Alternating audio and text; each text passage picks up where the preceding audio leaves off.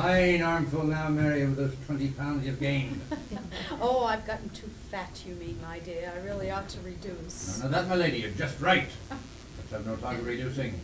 That's why you wait till little breakfast this morning? So little? I thought I ate a lot. Mm, no, you didn't, not as much as I'd like to see, anyway. Oh, you. You expect everybody to eat the enormous breakfast you do.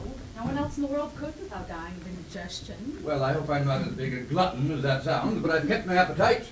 And I've the digestion of a young man of twenty, if I am sixty. You certainly have, James. No one could deny that. I wonder why they're staying in the dining room. Kathleen must be waiting to clear the table. Oh, it's some secret confab they don't want us to know anything about, I suppose. Probably cooking up some new scheme to touch the old man.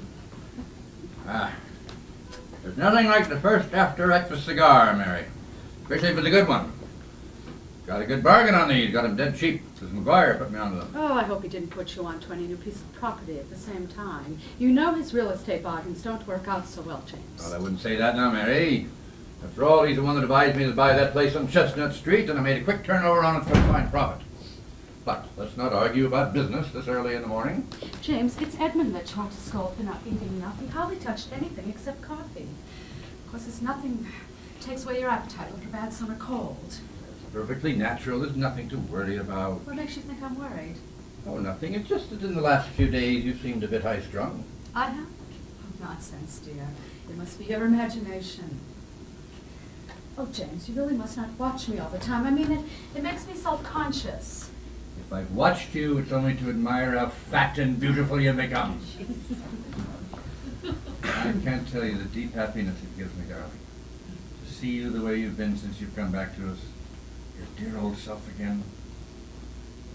Keep up the good work, Mary. I will, dear. Oh, thank heavens the fog is gone.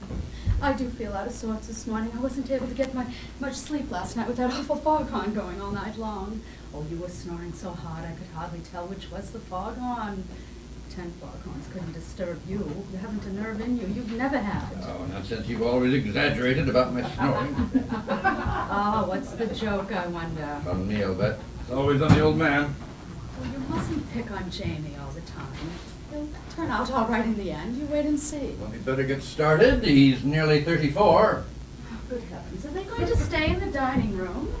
Jamie, Edmund, come into the living room and give Kathleen a chance to clear that table. Yes, Mama. You'd make excuses for him no matter what he did. Shush.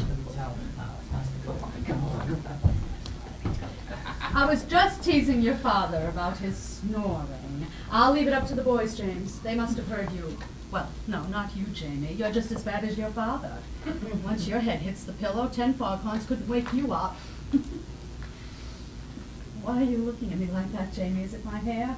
Is it coming down? And it's so difficult for me to put it up now. My eyes are getting so bad and I can never find my glass. Hair's alright, Mama. I was only thinking of how well you look. Oh. Just what I've been telling you, Jamie. She's so fat and sassy, there'll soon be no holding her. Yes, you certainly look grand, Mama. And I'll back you up about Papa snoring. Gosh, what a racket. Oh, I heard him too. The more I know his trumpet. And what were you two grinning about like Cheshire cats when you came in? What was the joke? Don't look at me. This is the kid's story.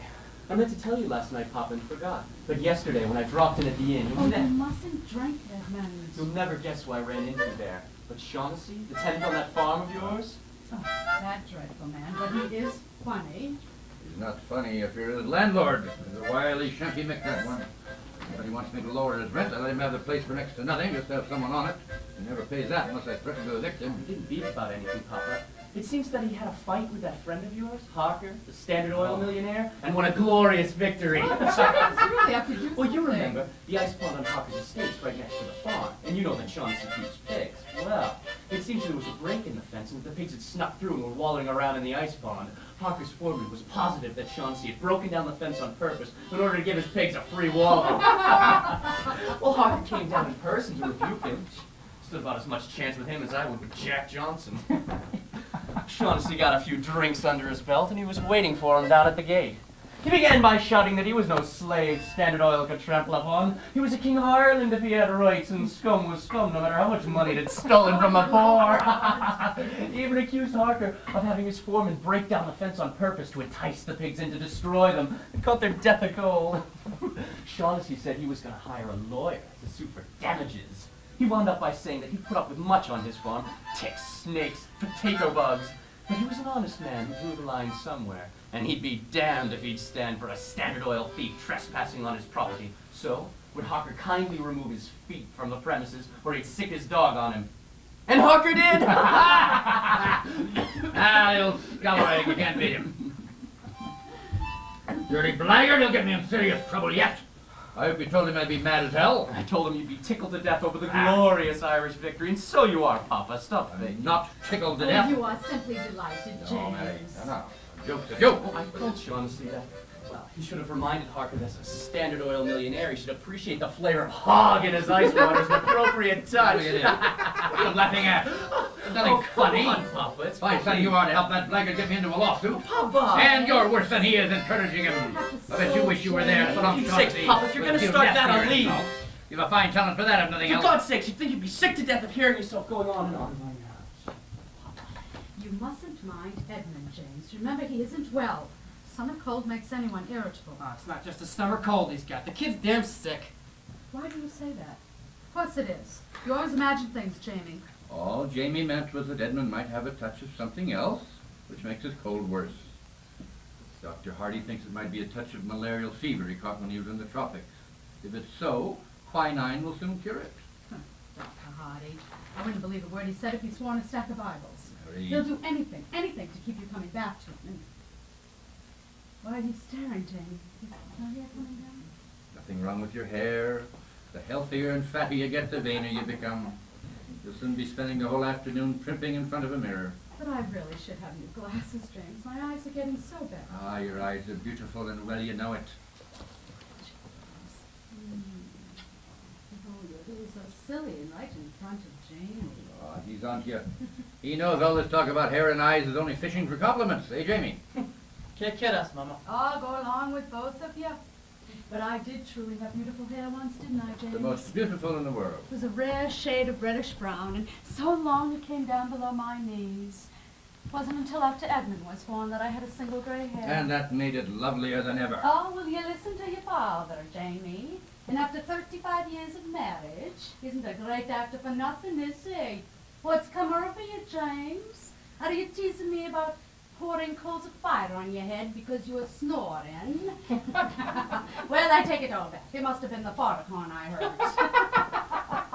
well, I can't stay here even to hear compliments. I must see the cook about dinner and the day's marketing. Oh, that Bridget, she's so lazy. She's always telling me about her relatives, so I can't get a word in edgeways and scold her. Well, I might as well get it over with. Oh, James, remember, uh, don't make Edmund work on the hedge with you this morning. You're a fine lunkhead. Have you no sense? Don't you know the one thing to avoid is saying anything that'll get him more upset over Edmund? All right, have it your way. I think it's the wrong idea to let Mama go on kidding herself with this summer cold talk. She knows better. Knows, nobody knows yet. Well, I do. I was with Edmund on Monday when he went to talk to Hardy. Heard him pull that touch of malaria stuff. Stalling. Doesn't know what he thinks anymore. He's to phone me today before Edmund goes to see him. Thinks it's consumption, doesn't he, Papa? Yes. He thinks it might be. Okay. God damn it. This might have never happened if you'd sent him to a real doctor when he first got sick. That's right. Run him down, run down everybody. Everyone's a fake to you. Hardy only charges a dollar. That's what makes you think he's a fine doctor. That's enough. There's no excuse now you're not drunk. You think I can't afford one of those fine society doctors who prey on the rich summer people? Can't afford you one of the biggest property owners around here. That doesn't mean I'm rich. It's all mortgage. That's because you buy more properties instead of paying off mortgages. If Edmund were a lousy acre of land, the sky would That's a lie. And your sneers against Dr. Hardy are lies. He doesn't put on frills and drive around in a fancy automobile. And that's what you pay for with these All right, I'm to a at fool to argue with you. You can't change a leopard's spots. No, you can't. You've taught me that lesson only too well. I've long since given up any hope that you'll change yours. You dare tell me what I can afford? You don't know the value of a dollar, and never will. You've thrown away your weekly salary on whores and whiskey. My salary. Christ. If you weren't my son, there isn't a manager in the business who'd give you a part. Your reputation stinks so. As it is, I have to humble myself and beg for you, saying you've turned over a new leaf, although I know it's a lie. I never wanted to be an actor. You forced me onto the stage. You never looked for any other kind of work to do. You left it up for me to find you a job, and I have no influence except in the theater. Forced you! All you've ever wanted to do is loaf in bar rooms and sponge on me for the rest of your life. After all the money I've spent on your education, and all you ever did was get fired in disgrace from every college you ever went to. God's sake. Don't drag up that ancient history. It's not ancient history that you have to come home every summer to live on me. I earn my board and lodging around here, working the grounds. It saves you from hiring a You have to be driven to do even that. Wouldn't give a goddamn if there's some sign of gratitude. The only thanks is to have you sneer at me for a dirty old miser. Sneer at my profession, sneer at everyone but yourself. That's not true, Papa.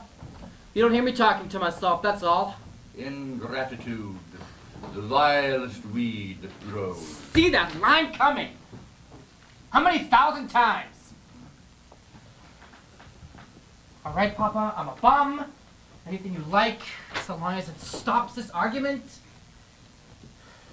If you get ambition in your head instead of folly, you're young yet, you can still make your mark. You had the talent to become a fine actor, you have it still. You're my I'm son. interested in the subject. Neither are you. Gotta start on this anyway. Marty, when is he going to phone you about Edmund? Oh, around lunchtime. And what could the finest specialist in America do for Edmund? After he's deliberately ruined his life by the mad life he's led ever since he was fired from college, he began dissipating and playing the Broadway sport to imitate you. You've always been a bundle of nerves like his mother. I warned him for years his body couldn't take it, but he wouldn't heed me. Now it's too late. Too, what do you mean too late? You talk as if you... It's an Irish peasant idea. Consumption is fatal. Well, it might be. If you live on a hovel on a bog. But over here with modern treatment, we can... Don't I know that? And what are you gabbing about anyway? And keep your dirty tongue off Ireland! You talk about peasants and bogs and hovels. The less you say about Edmund's condition, the better for your conscience. It's more your fault than anybody's. It's a lie, Papa. I won't stand for that. It's a the lie. truth. He admired you as a hero growing up, pumping him full of what you considered worldly wisdom when he was way too young. You wanted him to believe that every man was a knave with his soul for sale, and every woman who wasn't a whore was a fool. All right, I did put him in wise to things. Uh. All I did was make a pal of him. Be absolutely frank. So he learned from my mistakes. You can't be good at least be true. Well, sorry. A rotten accusation, Papa. It's a rotten accusation. You know how much the kid means to me. I'd do anything for him. Well, I know you thought it was for the best, Jamie. Damn rot. Quietness tricks people into thinking they can do what they want with him. What had I to do with all the crazy stunts he's pulled over the last year, traveling all over the map as a sailor and all that stuff? you can't imagine me getting fun out of sitting on a beach in South America, living in filthy dives, drinking rot gut, can you?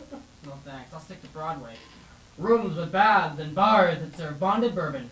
You and Broadway made you what you are. At least Edmund's had the guts to go off on his own and not come whining back to me every time he goes. He's always come home broke finally, hasn't he? Look what his going away got him. Look at him. It's a lousy thing to say. I didn't mean that.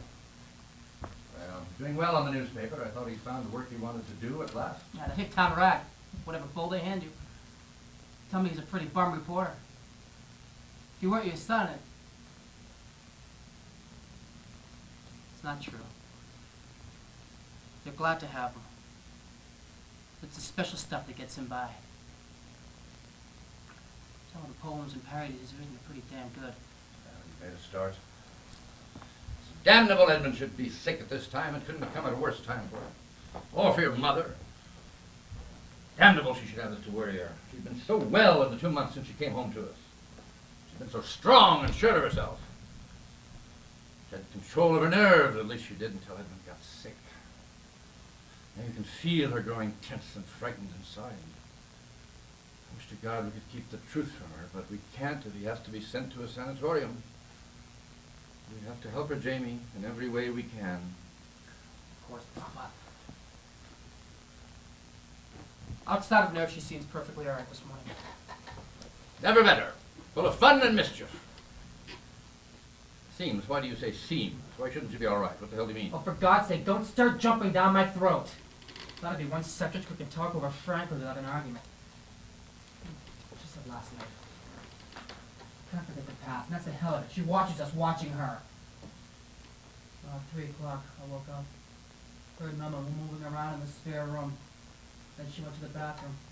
I pretended to be asleep. She stopped in the hall to listen to music to make sure I was. Was her being in the spare room that scared me. Can't help but think whenever she starts sleeping alone in there, it's always been a sign. no, well, no, no, not this time. Where else could she go to get away from my snorting? Ah, it would be like a curse she can't escape. Worry over Edmund. It was in her long illness after She didn't have anything the to do world with it. she First, I'm not blaming her. Are you blaming Edmund for being born? Oh, don't be such a damn fool. Nobody's to blame. That bastard of a doctor, huh? From what Mama tells me, he was another cheap quack like Hardy. You liar. You wouldn't pay So that's what you're his getting at. So that's what this is all about. My fault, is it? You evil-minded looker! We're gonna get to work on the front hedge. We better get started. Did I actually hear you suggest working on the front hedge, Jane? Well, wonders will never cease. You must want pocket money badly. All right. And what were you two arguing about? Same old stuff. Well, I thought I heard your father talking about a doctor and accusing you of being evil-minded. Yeah, I was just seeing again how Hardy is in my of the world's greatest physician. Oh, no, he isn't fine either.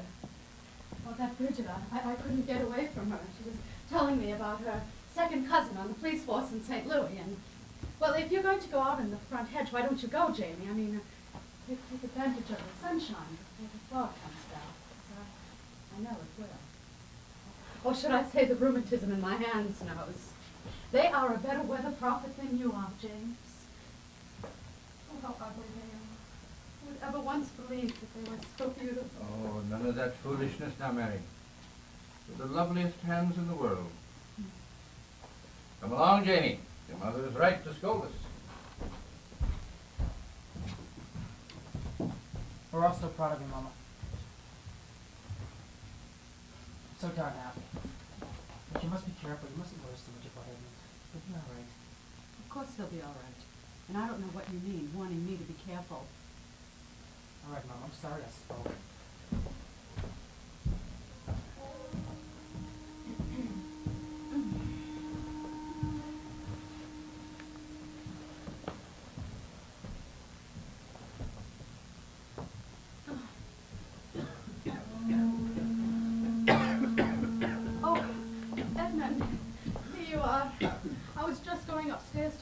You. I waited till they went out. I didn't want to mix up in their argument. I feel forgotten, Mama. Oh, you're growing much too thin. Come and sit down, dear. Make yourself comfortable. You know, all you need is your mother to nurse you now. Big as you are, you're still the baby of the family to me, you know. Never mind that. Just take care of yourself. That's all that matters. Oh, but I am, dear. Good heavens, haven't you seen how fat I've grown? I have to let all my dresses out. go the Chatfields in a new car. Oh, God. Jamie started working on the, on the hedge, and how he hates having everybody pass by see him. Oh, that is a beautiful car. Not like our second-hand packet. Poor Jamie, he's bent almost underneath the hedge so that they won't see him. And of course, there's your father, bowing to them as if he were taking a curtain call in that filthy old suit I've tried to make him throw away. Really, he ought to have more pride than to make such a show of himself. He's right not to care what anyone thinks. Jamie's a fool to care about the Chatfields. Outside of this Hickberg, who's heard of them anyway? No one. You're quite right. Big frogs in a small puddle. Exactly. But yet, Chatfields are people like them. They stand for something. I mean, they have decent, presentable homes that they don't have to be ashamed of. They, they have friends. They're not cut off from everyone. Not that I want anything to do with them or anybody in this town. I've always hated this town and everybody in it. But, but your father, he, he always liked it here and insisted on building this house. We've had to spend every summer since. It's better than spending the summer in a hotel in New York, isn't it? I mean, it's the only home we've had. Oh, I've never felt it was a home. Everything was done in such a cheap way. It's just as well that we don't have people coming into here. I'd be so ashamed to have them step through the door. All your father likes to do is hobnob with his male friends at the bar or at the club. And, and you and Jamie, you're the same way. Of course, it's, you're not to blame. You, you've never had a chance to meet decent Forget it, Mama. people. Who cares? Jimmy and I would have been bored stiff anyway. As for the old man, what's the use talking? You can't change him. Don't call your father the old man. You really should show more respect. And I, I know it's useless to talk now. It's just that sometimes I, I feel so lonely. Anyways, you've got to be fair, Mama. I mean, it may have been all his fault in the beginning, but you know he couldn't have had anyone here anyway after. Well, what I meant to say, Mama, was that, well, you wouldn't have wanted anyone here. That's that's it. Edmund, don't. I can't bear having you remind me. Oh, I hate reminding you like that, but well, it's just been so wonderful having you home like this, Mama, and, and it'd be just just awful. Tell me the truth. Why, why you act so suspicious all of a sudden? I'm not. It's, it, Yes, you are. I can feel it. Your father and Jamie, too, particularly Jamie. that's crazy. We do trust you, Mama. Oh, if there was only some woman friend that I could go and talk with for a while, spend an afternoon. But of course there isn't. But Mama, please, you're working yourself up over nothing. Well, you have your friends. Your father has his, but, but I'm alone. I'm always alone. Come now. You know that's a fib. One of us always stays here to keep you company, or goes with you in the automobile when you take a drive. Yes, because you're afraid to trust me alone. Oh, Edwin, I insist you tell me why you act so differently this morning. Why you felt you had to remind me. Stupid. I wasn't asleep when you came into my room last night. You went into the spare room for the rest of the night. Well, your father's snoring is driving me crazy. Good heavens, don't I often use the spare bedroom as my bedroom? So, you were pretending to be asleep in order to spy on me? No, Mom, I, I wasn't feeling well last night, and I, and I know it would upset you if you found out that I was feverish. And I suppose your father and Jamie too were pretending? Mama, please, stop Oh, it, stop I it. I can't bear it, would even you. It would serve all of you right if it were true. Mama, please don't say that. That's the way you start talking when. Stop suspecting me, please, dear. You hurt me. I, I couldn't sleep last night because I was so worried about you. That's foolishness. You know it's only a summer cold. But, Mama, please, you must promise me, if it does turn out to be something worse, that you won't wear yourself sick over it. That you'll just keep taking care of yourself. Don't be silly, dear. Of course I promise you. I, I, I give you my sacred word of honor. But I suppose you remember I've often given my word of honor. No. Oh, I don't blame you. How can any one of us help it? That's what makes it so difficult. It's hard to forget. Stop it, please. I'm sorry, dear. I didn't mean to be so gloomy. Forgive me. Oh, let me let me feel your head. Why, it's nice and cool. You haven't any fever now. Forget it, forget it. I'm just worried about you, Mama. I, I'm all right, dear. Except I, I, I do feel a little nervous after having such a bad night. I think the best thing for me to do is to go upstairs and lie down and, until lunchtime. What will you do? Read here? Well, you really should go out and get some sunshine and fresh air. But, but remember, dear, wear a hat. You don't want to get sunstroke. Or are you afraid to trust me alone? No!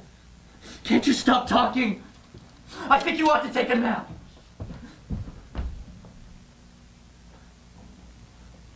Well, I think I'll go out and help Jamie bear up. You know how I love to lie in the shade and watch him work.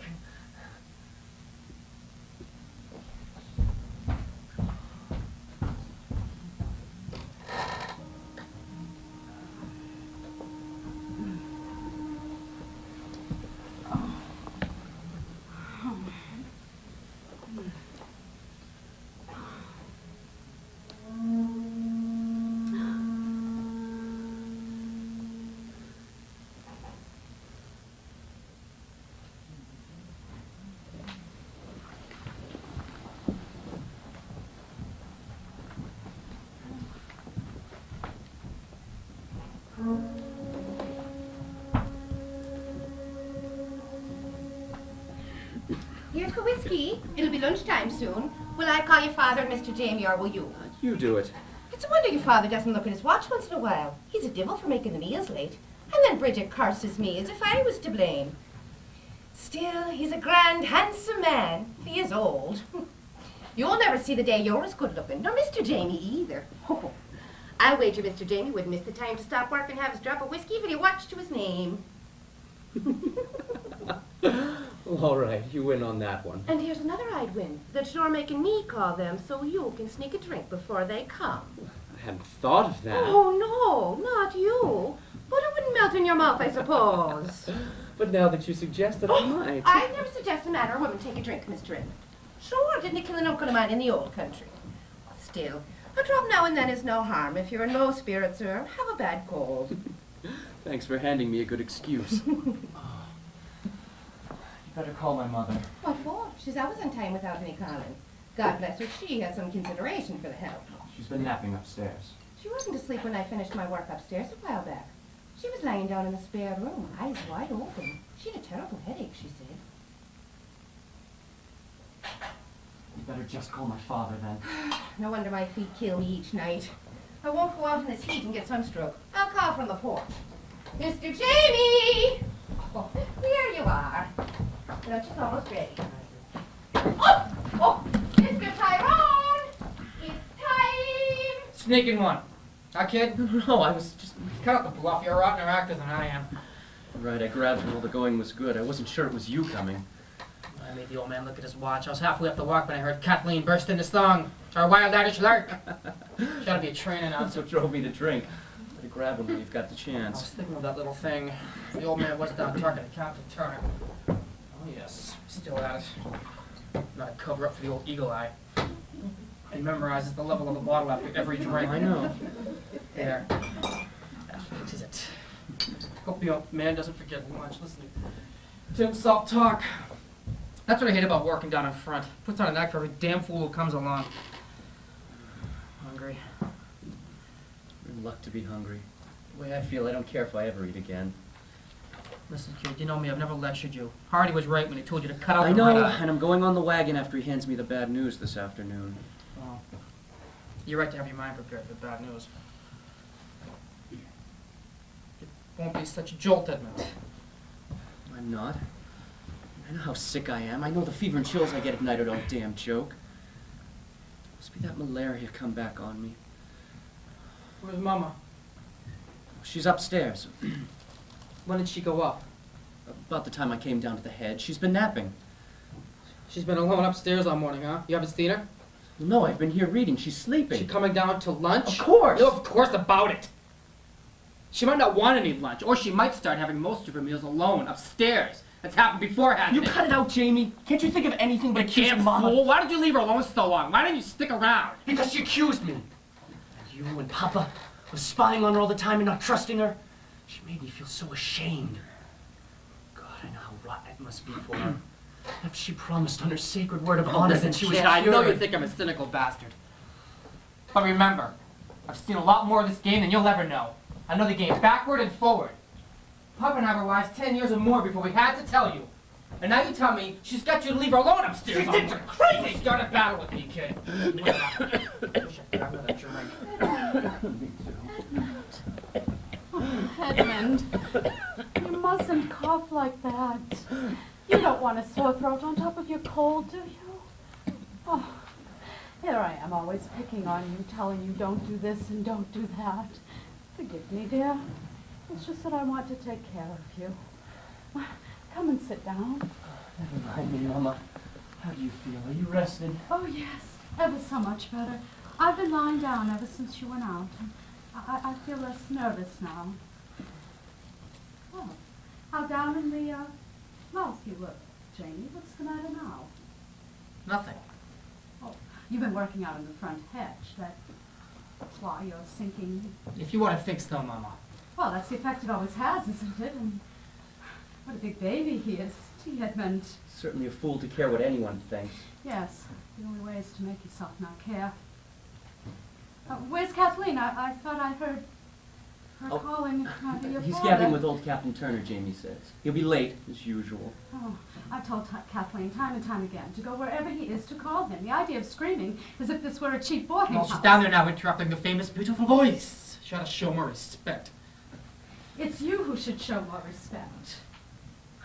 Stop sneering at your father. I won't have it. You know, he worked his way up in his profession from ignorance and poverty. Everyone else admires him, and you should be the last one to sneer. You, after all, have never had to work hard in your life. Remember, Jamie, your father's getting old, and you should show more consideration. I ought to. Well, dry up, Jamie. And Mom, why are you jumping on Jamie all of a sudden? Because he's always sneering at someone, always trying to find the worst weakness. But I suppose he can't help what life has done to him. None of us can help the things that life has done. They're done before you realize it. Once they're done, they make you do other things until at last everything comes between you and what you'd like to be, and, and then you've lost your true self forever. Oh, God. I'm hungry. Wish the old man would get a move on. It's a rotten trick the way he keeps meals waiting. Beef's because they're spoiled. Yes, it is very trying, isn't it, Jamie?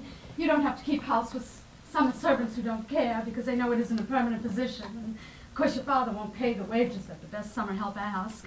So every year I have lazy, stupid greenhorns to deal with. And, and then, of course, we return to second-rate hotels. your father, he doesn't understand a home.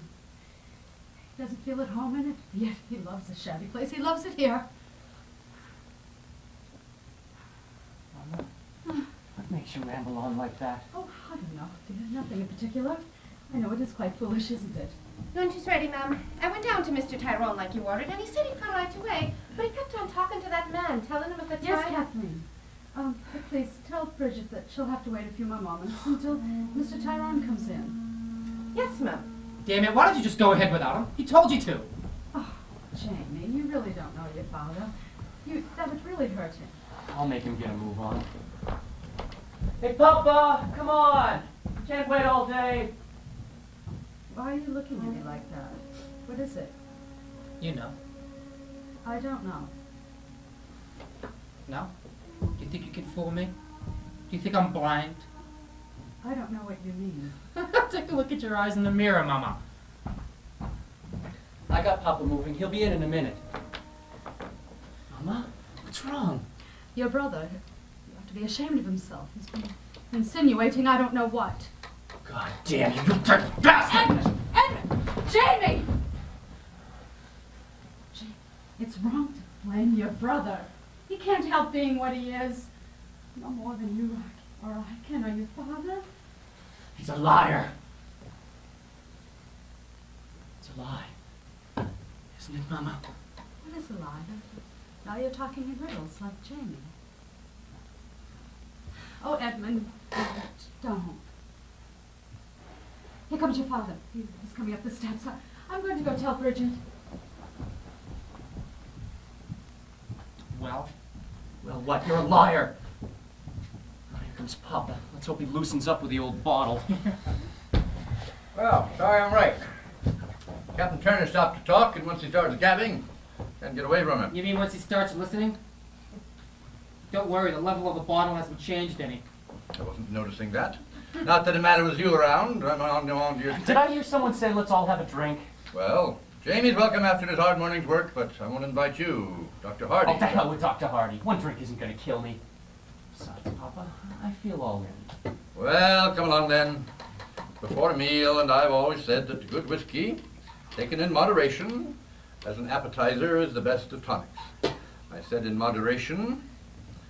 Be a waste of breath mentioning moderation to you. Well, here's health and happiness.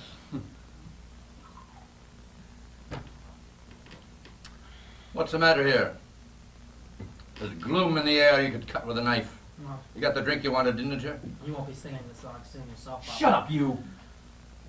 Well, isn't lunch ready? I'm hungry as a hunter.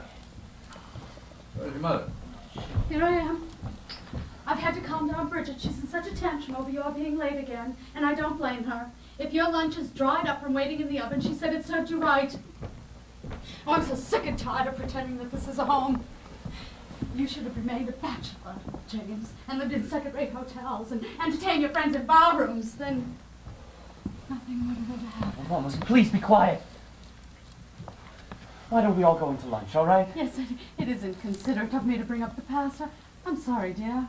Oh, I do hope you have an appetite. You really should eat more. Please. Why, why is that glass there?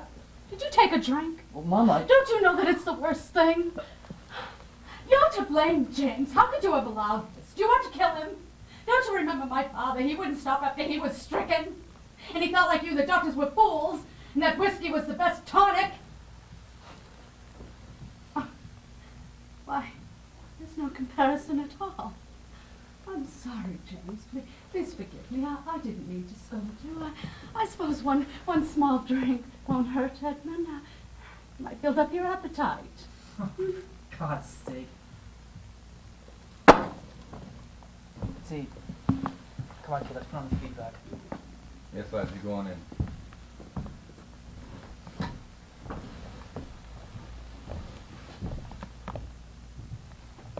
Why are you looking at me like that, James? Is, is my hair coming down? I, I went upstairs and took a nap this morning and I dozed off and it was, it was wonderful, but I thought I fixed it when I woke up and of course I couldn't find my glasses and... James, please stop staring. I, one would think that you were accusing me. Oh, James, you don't understand. I understand I've been a goddamn fool to believe in you. I, I don't know what believing in me. All, all I have felt is spying and distrust and suspicion. And why are you having another drink before lunch? You never have more than one. Oh, I know. You'll be drunk tonight, won't you, Will? It won't be the first time or the thousandth, will it?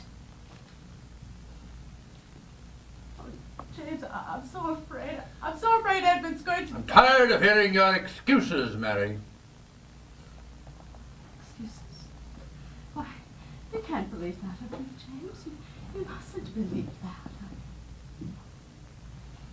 Shall we not go into lunch? I, I'm not very hungry, but I suppose you... James, James. Oh, I tried. I tried. Please believe me. I suppose you did, Mary. Why couldn't you have had the strength to keep on? I don't know what you mean. Strength to keep on what, dear? Never mind. No use now. Oh, James. James.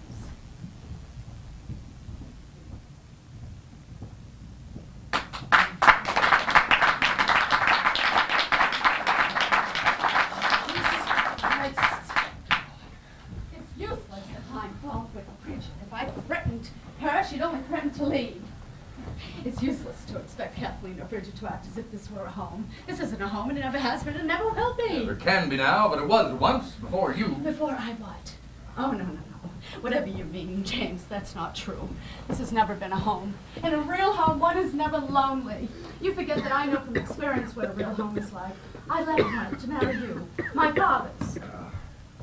Edmund. Oh, Edmund. Edmund. You should have eaten more at lunchtime. It's all right for me not to eat because I've been getting so fat, but, but you must eat. Promise me you will, dear, for my sake. Yes, Mama. Oh, that's a good boy. I'll answer. Uh, McGuire said he'd call. McGuire. He must have another piece of Hello. property on his list that no one would buy but your father. Hello, father. Doctor. I've never understood it. He's always been able to buy this property, Yes, but never to give me a real home. Well, he'll explain all about it when he comes in this afternoon. He's in at four without fail. Yes, and I'll drop in before that and have a chat with him. Yes. Goodbye, Doctor. That didn't sound like glad tidings. It was Dr. Hardy. He wants you to be sure to see him at four o'clock this afternoon. What did he say?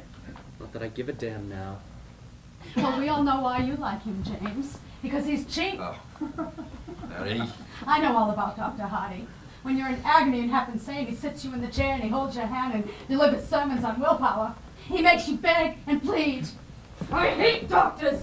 They'll do anything, anything to keep you coming back to them. They'll sell their souls, and what's worse, they'll sell mine until one day I find myself. Mama, in will you please be quiet? Mary, it's not the time. Why? Of course, dear. It's, it's useless for me to be angry now. I'm sorry. I, I think I'm going to go upstairs and fix my hair, if you'll excuse me. Uh, that is, if I can find my glasses. Mary. Yes, dear, what is it? Nothing.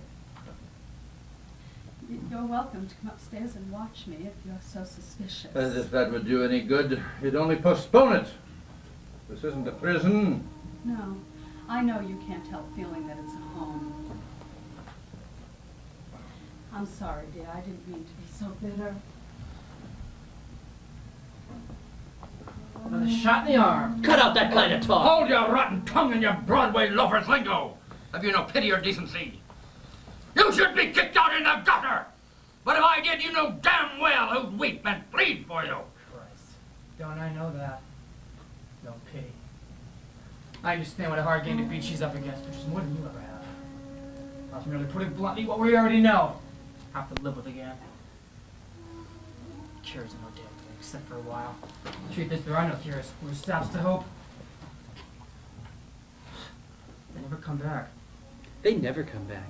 Everything's in the bag. It's all a frame up. We're all just suckers and fall guys, and we can't hope to beat the game. Christ, if I felt the way you do. Thought you did. Your poetry isn't very cheery. That stuff you read. Claim to admire. And that pet of yours with the unpronounceable name, for example. Nietzsche, what do you know about Enough it? You haven't know read it's him. No, you haven't. Shut up! Both of you! There's little to choose between the philosophy you learn from your Broadway lovers and the one Edmund got from his books. They're both rotten to the core. You both flouted the faith you were born and brought up in, the one true faith of the Catholic Church. And your denial has brought you nothing but self-destruction. We don't pretend at any Papa. I don't notice you've worn any holes in the knees of your pants going to Mass. Be a bad Catholic in the observance, God forgive me. But I believe, and you're a liar. Every morning and every night of my life, I get down on my knees and pray. Did you pray for Mama? Yes, I did. I prayed for her these many years. Then Nietzsche must be right. God is dead. Up in pity for man hath God died. Your mother had only prayed too. She hasn't denied her faith, but she's forgotten now there's no strength of spirit left to help her fight her curse.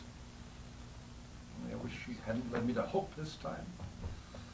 My God, I never will again. That's a rotten thing to say, Papa. Well, I will. I'll hope for Mama. She's only just started. She can still stop. I'm gonna talk to her. You can't talk to her. She'll listen, but she won't listen. She'll be here, but she won't be here. You know the way she gets.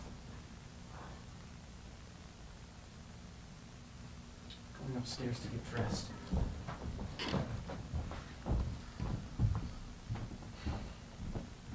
What did Hardy say about the kid? That's what she thought. She's got consumption. Poor kid. We'll have to go to a sanatorium. Yes, and the sooner the better, Dr. Hardy says, for him and everyone around him. Ah. He says that in six months to a year, if he obeys orders, he'll be cured. Now, for God's sake, send him to a good place, not some cheap dump. I'll send him whatever Hardy thinks best. I'm no millionaire that can fling money around. Why not tell Hardy the truth? All because he'll know you, you'll, you'll want to send him to a cheap dump. Because I know it isn't the truth. Especially after he hears you've seen McGuire. Let that flannel-mouthed gold-brick merchant sting you with another piece of bunk property. Keep your nose out of my business! This is Edmund's business.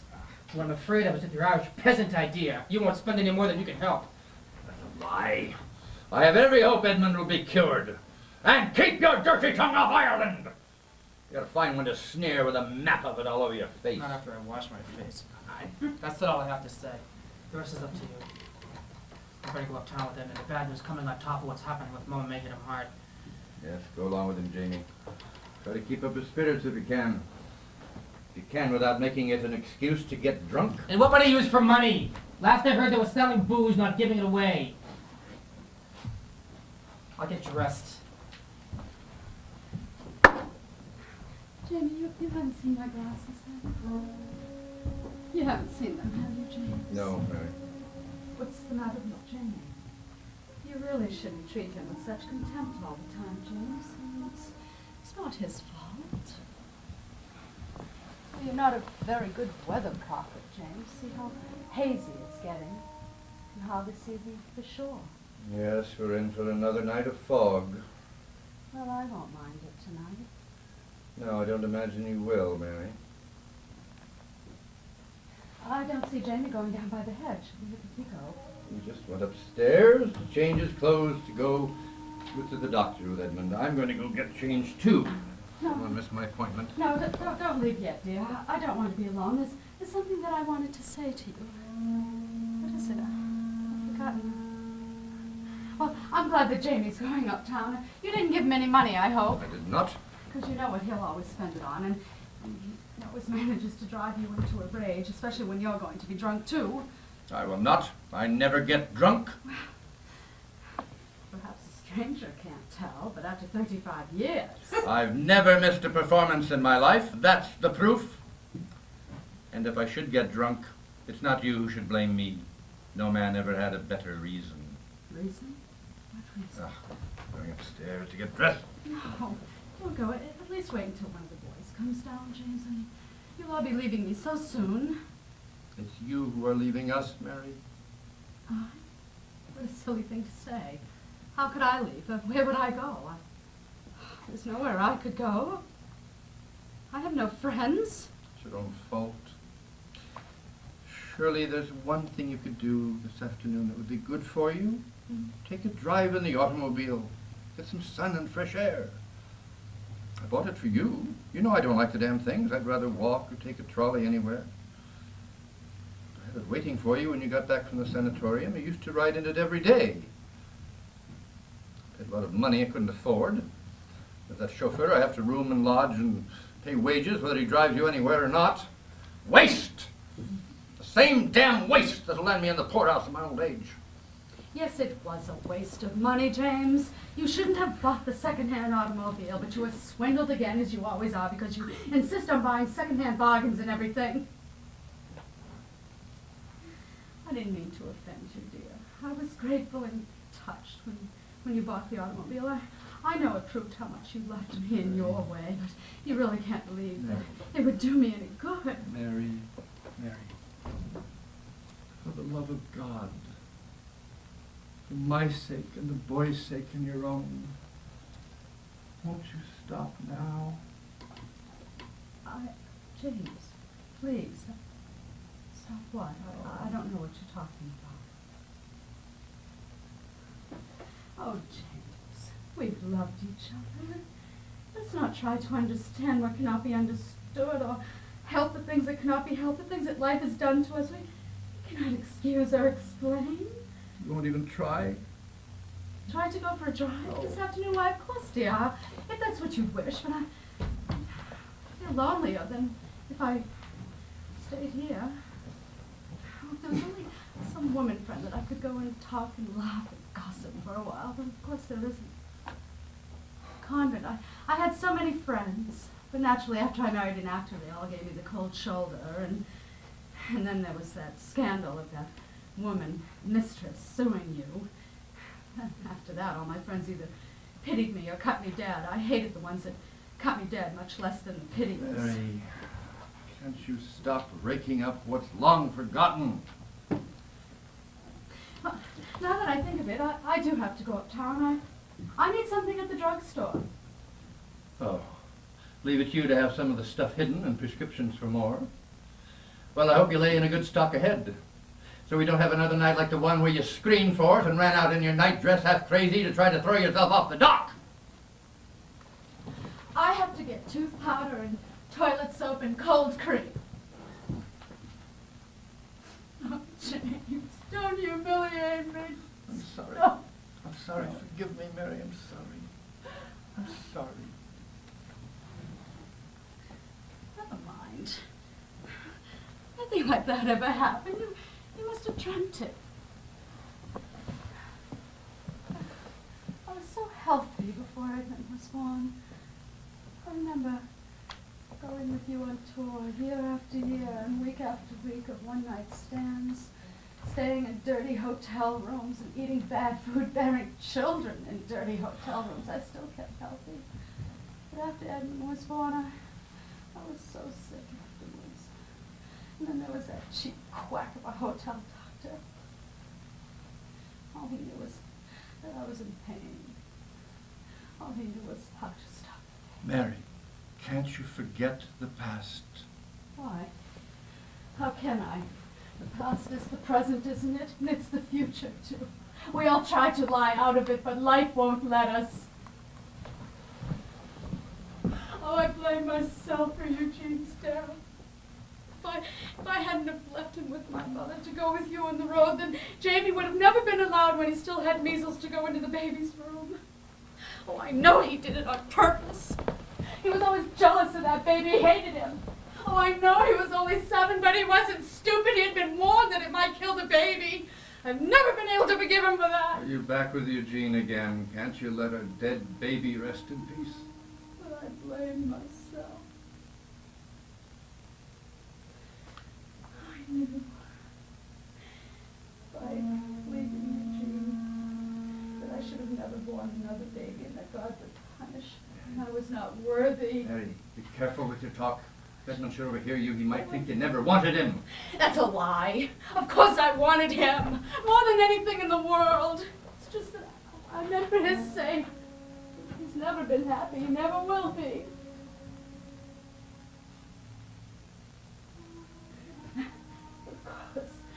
It's to talk about such dreadful things. I mean, everyone has colds and gets over them. Here comes Edmund. For God's sake, try to be yourself, at least while he's here. At least you can do for him. Well, you look spick and span. I'm on my way upstairs to get dressed. Wait a minute, Papa. I hate to bring up disagreeable topics, but it's a matter of car fare. I'm broke. You'll always be broke until you learn the value. Ah, but you've been learning, lad. You worked hard before you took ill. You've done splendidly. I'm very proud of you.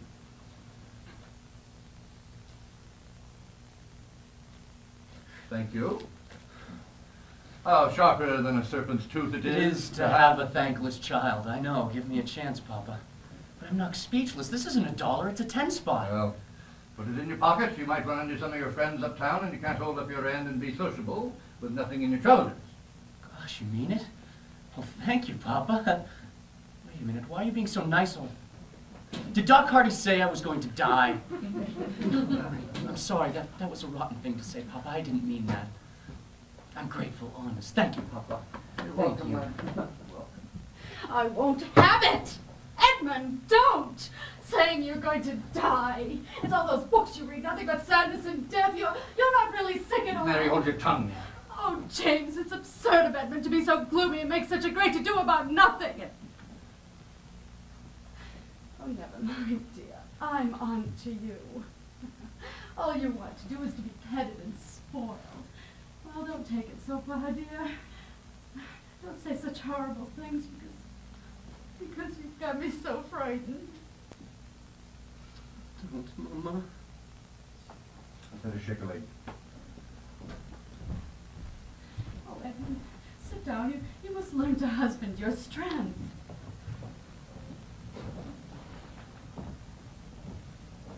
So, Mama, there's something I must ask you.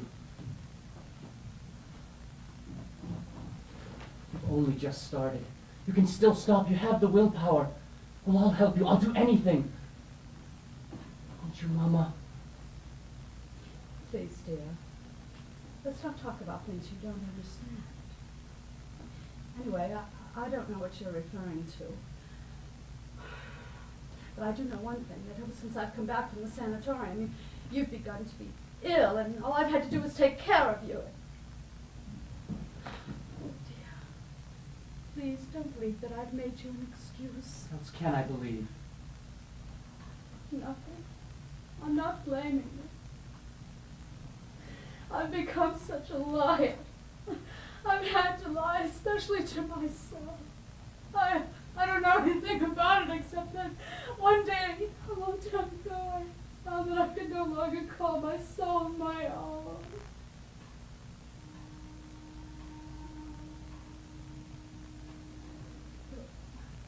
Someday I, will find it again.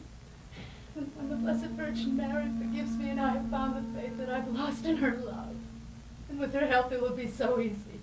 I'll find myself screaming in agony and at the same time laughing because I will be so sure of myself. But I suppose you don't believe that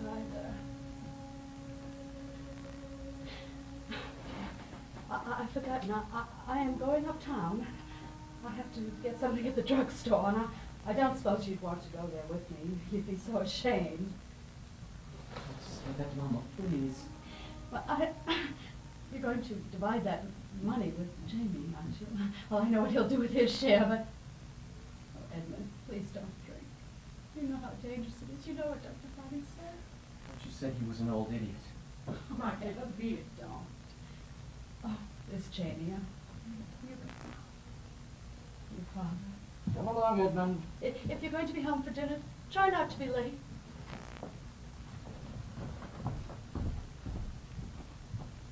Goodbye, Mary. Bye, Mama. Goodbye. So lonely. Are you lying to yourself again? You wanted them to go. They're contempted, disgusted. You aren't very pleasant company. You wanted to be rid of them. Then why, Mother of God, am I so lonely?